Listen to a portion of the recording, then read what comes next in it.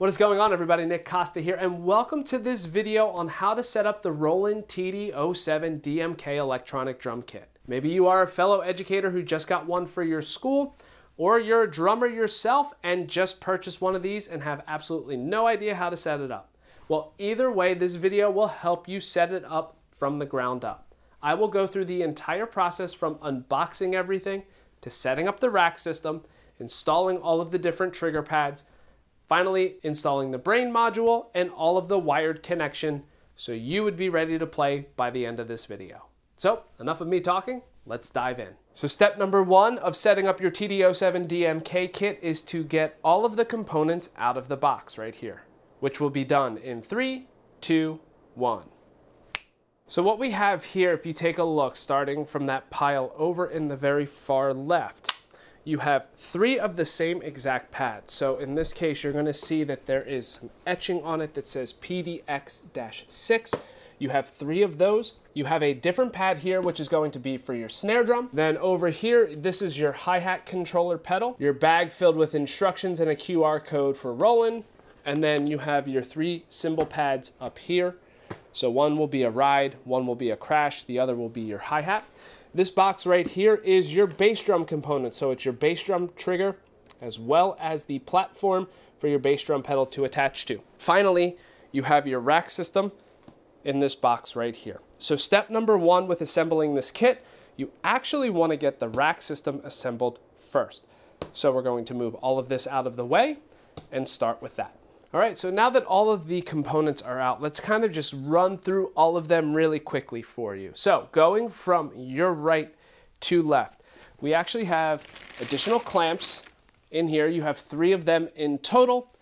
You also have one, two, three, four different L arms. These are, will be used for your three toms and snare drum. This next pack right here is actually your clips for the whole wiring harness which we'll get to towards the end. So since we actually don't need any of these right now, I'm gonna place them off to the side. Here is your rack system. And if you have seen any other assembly videos on a Roland electronic kit, if they have a similar frame, it's going to be that same exact setup. So you actually have this H-beam right here in the middle, and the side where you have your snare drum is actually the side where you have the two clamps located here. The other side for your ride cymbal, floor tom, everything else, will be the one clamp side. Now, as you go to assemble this kit, one thing you wanna keep in mind, you have two legs.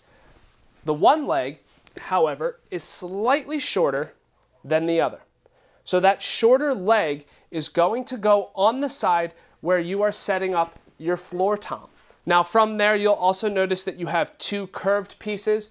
Both of them have two clamps on them already. And then finally on the far left side, we have our three different cymbal stands. You'll notice that one is slightly taller than the other two. Now moving forward with this video, I am going to set this rack up for a traditional right-handed setup drum set. If you are left-handed, you're just going to flip it around. Okay, so step number one, you're gonna take that H-beam in the middle and you're gonna make sure that the end that has the two clamps is actually facing the left side. You are going to loosen the top one and you are going to have that come outwards because that's where the curved bar is going to attach. The bottom one is for your snare drum. So you are going to loosen that and you're going to have that face towards you or your drummer. Now from there, you're going to take the short pipe right here and you're going to notice that on one end, it is closed off and on the other end, it is open. That open end is what is inserted into that connection. Now, if you can't get this pipe to attach, you just need to take a drum key and loosen up that tension rod. That will open up the connection so it can be inserted. Just make sure that you tighten it down afterwards. Same thing on the right side here. We're gonna flip that around and be good to go. From there, you're going to take one of your curved bars, doesn't matter which one, and you are going to insert it into that top connection on the left side. You wanna make sure that when you are doing this, however, that curved portion is actually going away from your drummer during this setup. Now before you actually go with tightening anything down, you want to check both of your legs and you want to find the one that is taller and that's the one that you are going to set up on the left side. So you're going to notice H-beam is set up, snare drum connection is all good to go. Your curved bar, again, is going away from you, and then that taller leg is here on the left side. You're also gonna notice that this is a little lopsided. So what you're actually gonna wanna do is take your drum key, loosen this tension rod here, and that's going to shift this whole thing downwards. We wanna make sure that both of the legs of the H-beam in the middle are sitting nice and flat. You're gonna notice that as soon as I start to lower it, both of those legs on the H-beam are now sitting nice and flat. And to make sure that the base of this leg is also sitting flat, simply can just turn it and then tighten it down with your drum key. So now that that side is set up, let's go ahead and set up the other side. So I'm going to slide the rack over.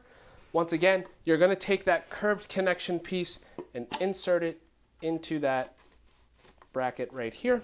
Again, if you're having a difficult time, take the drum key, loosen up that tension rod. And again, you wanna make sure that that curve is facing away from you. Now, Take that shorter leg, insert it on the other end, which once again, most likely going to have to loosen up a tension rod, and you are set up. Now, once you have all of that set up, you want to take a look at your bases of all of your connections, and you want to make sure that they are sitting flat on the ground. If they are curved or doing anything crazy, you want to make adjustments. So you're going to notice here that it is actually leaning towards this snare drum connection, and if I actually flatten out the legs of the H-beam, then all of a sudden, my connection all the way on this side is actually off of the ground. So what I will do is take that drum key and make those adjustments to make sure that that leg is actually on the ground. Now once you have it down as a good rule of thumb, all of the legs are nice and flat, go ahead and tighten everything down for now, and then you'll make some minor adjustments moving forward. Now once this is set up, what you actually want to do is turn it so the H-beam is on the ground. You're going to remove one of those leg bases. That way you can attach the bass drum trigger to the post. So you will notice again, this big box right here, you wanna go ahead and take everything out of it. This is your bass drum trigger. You're gonna also notice that it is oblong because you can actually set up a double bass pedal. Now, when you are setting this up, you wanna make sure that the connection that goes on the pipe is actually on the right side if you're looking from the drummer's perspective.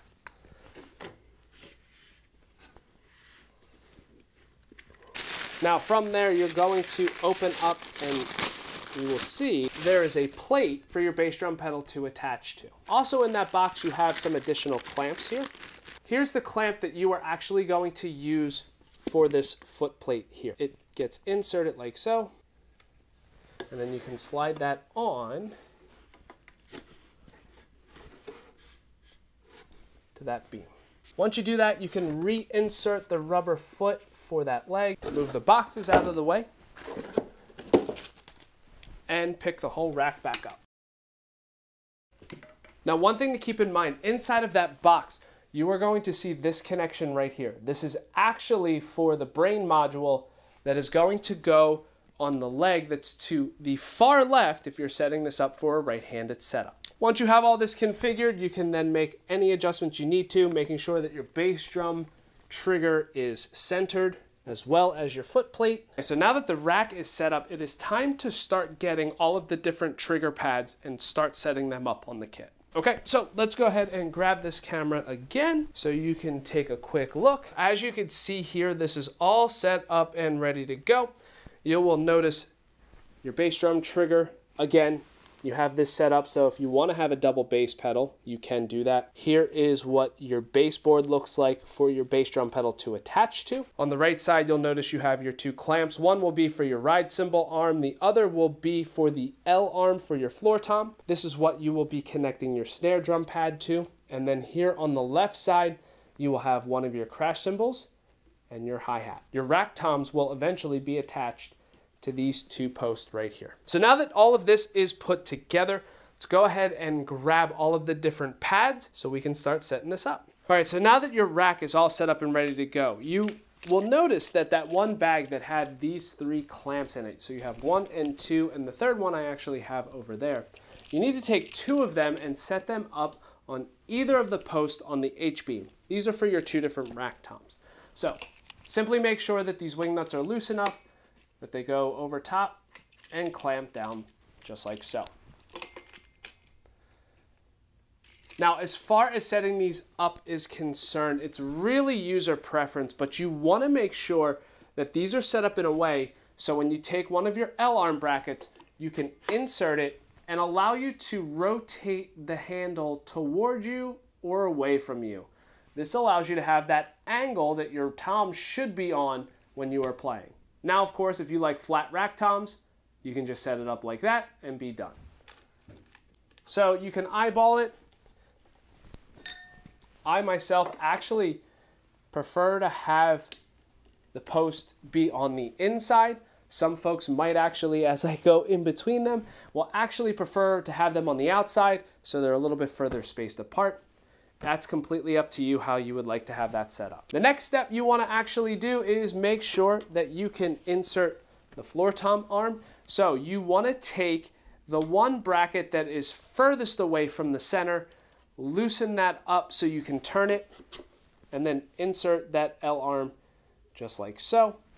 Once again, up to you how you prefer to have this, whether you want your floor tom to be flat or angled. Once you have it in an eyeball area of where you want it to be, you can lock it in place until you actually get the rack on there. Again, as I shift over so you can see my face.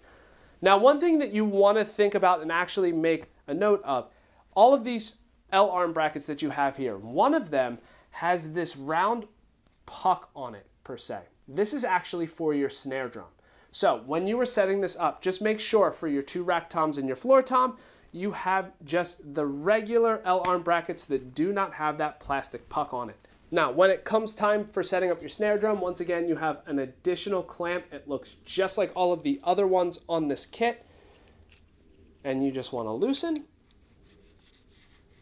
and insert like so. Now, again, this is going to be user preference, how you want this to be set up, whether you want that L-arm bracket to be either on your left side or your right side.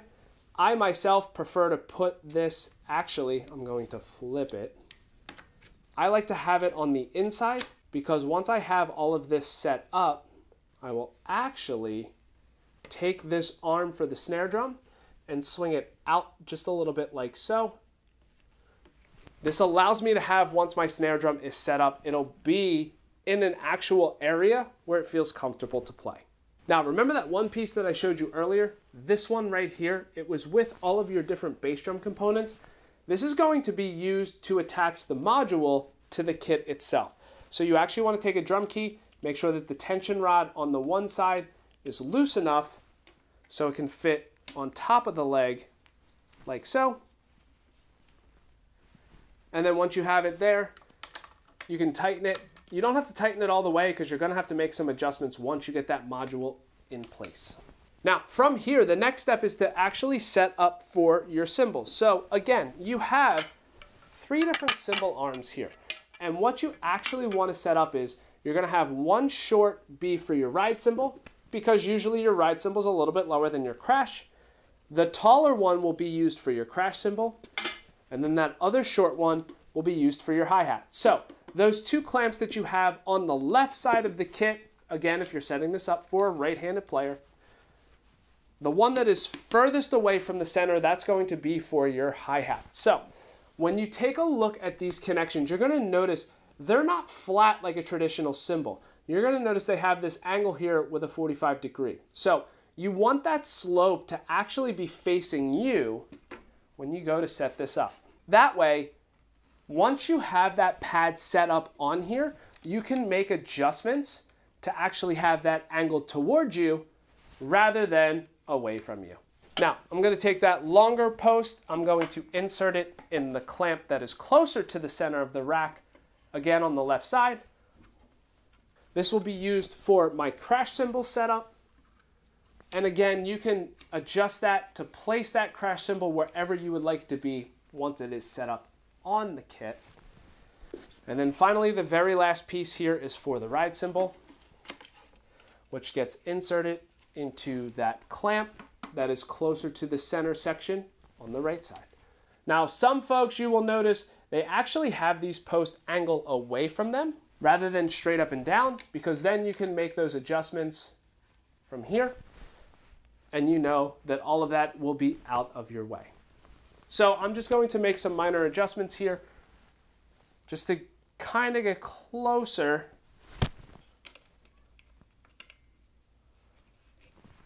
to where I would like it to be as far as configuration and setup is concerned.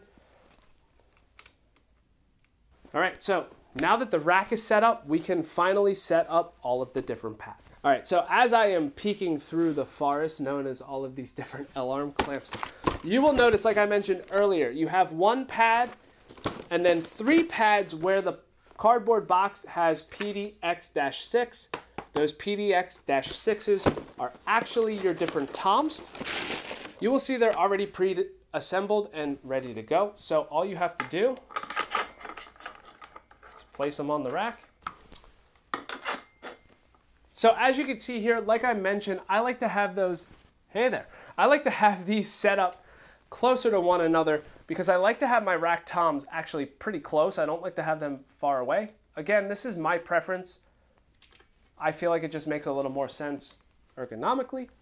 And I want to make sure that they are angled correctly now the very last pad is going to be, I feel like I'm Wilson from Home Improvement. If anybody remembers that show. So now that very last pad that we have right here is going to go on that L-arm bracket for your floor tom. And just looking at this, I'm probably gonna have this go a little bit further away. Because once I sit down, I will see how this looks on the kit.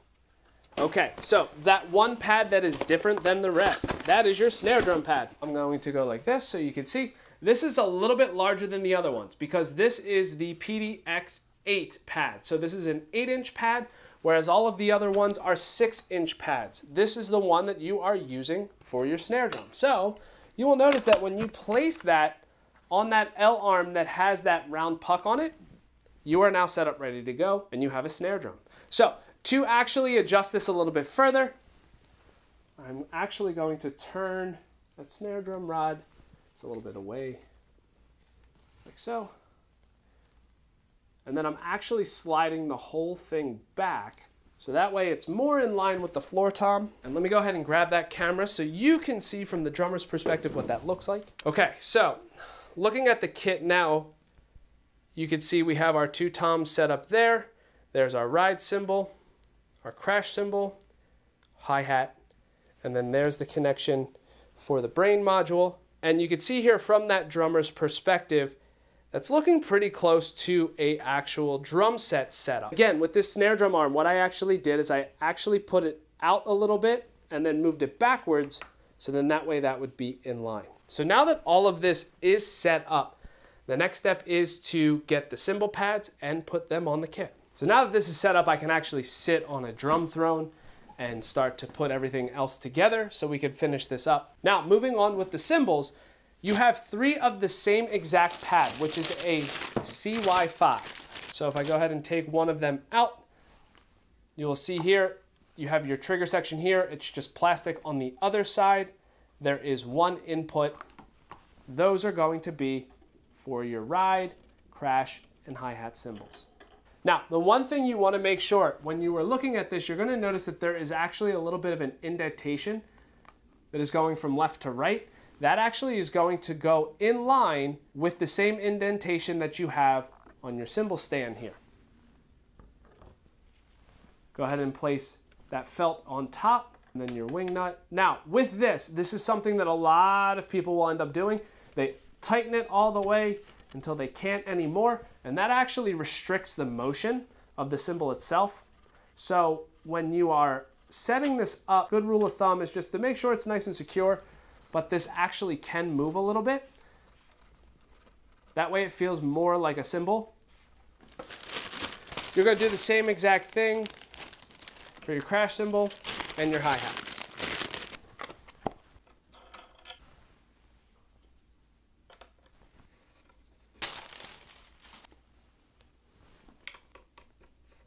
Okay, so now that all of those cymbals are set up and ready to go, I'm going to make some minor adjustments once again to make this feel a little more comfortable for me. So there's my hi-hat stand. Now, as far as my crash cymbal is concerned, I want it to be in between the hi-hat and the rack tom, but not get in the way of the rack tom.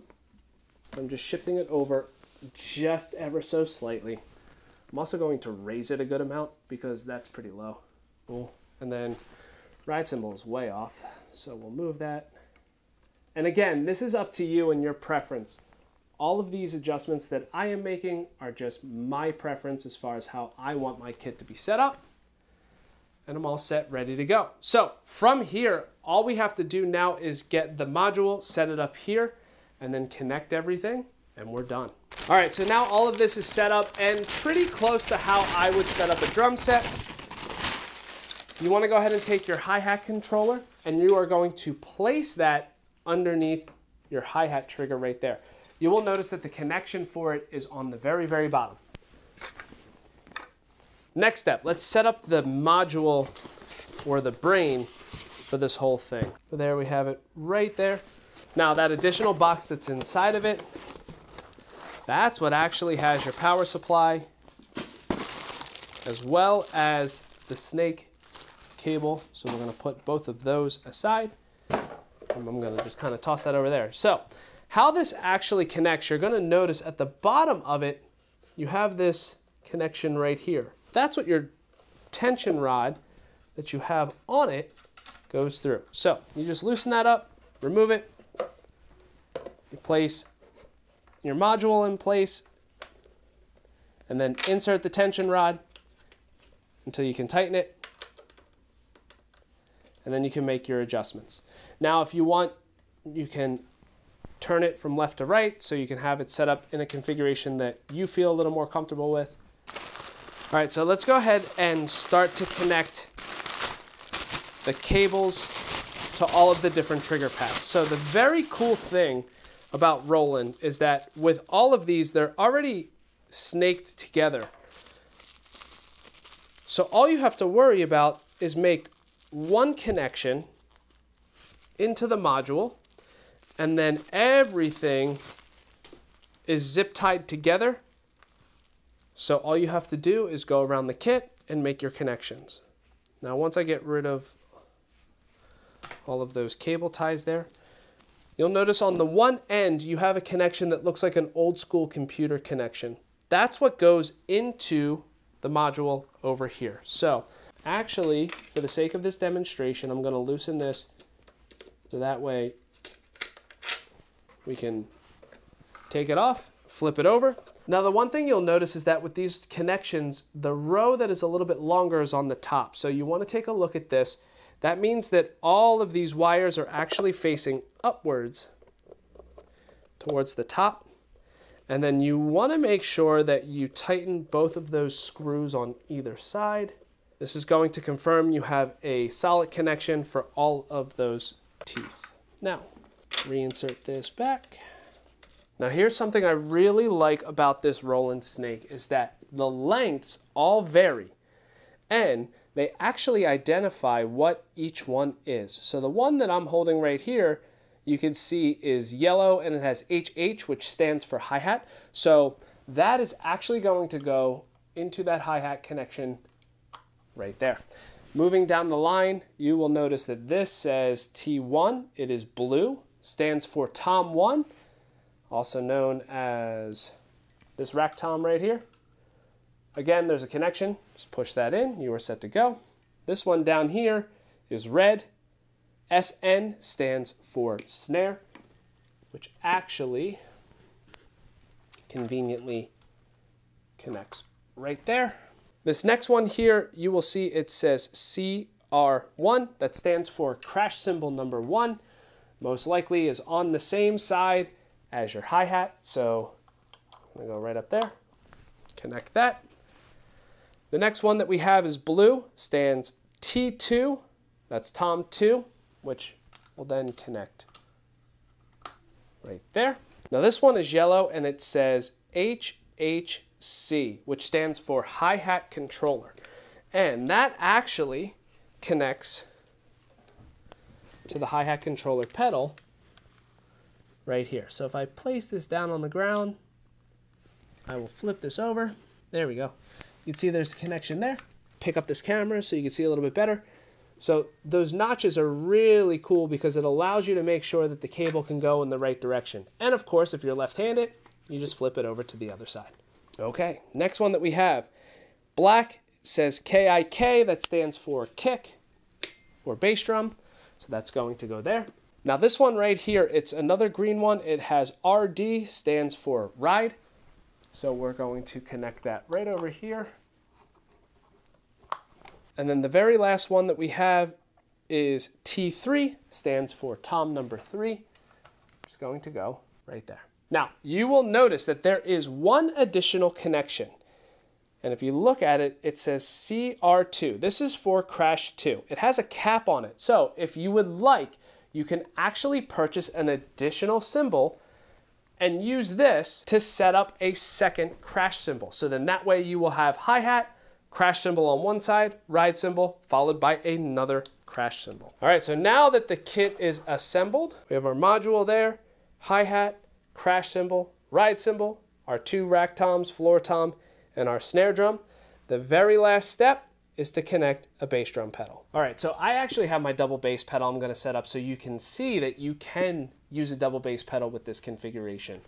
What you actually wanna do is connect this base plate right here, and that's going to go in between the bottom and the top portion of your pedal. So the first thing I actually have to do is loosen this up a little bit and raise it just a tad. That way I can insert my bass drum pedal like so. Once that is in place, you are then going to tighten it down. Depending on the bass drum pedal that you have, you're going to have a wing nut that you just turn and tighten, or you may need to use a drum key and tighten it that way. Sometimes the connections are on the bottom. So just take a look at your bass drum pedal, see what you have. Any of that will work without an issue. Now you're gonna notice that that bass drum trigger is way too low. That's also an easy fix. Simply just loosen the connection and raise it up until the beater of your bass drum pedal actually hits that center section like so. So once you have that set up, you are good to go. You can play double bass.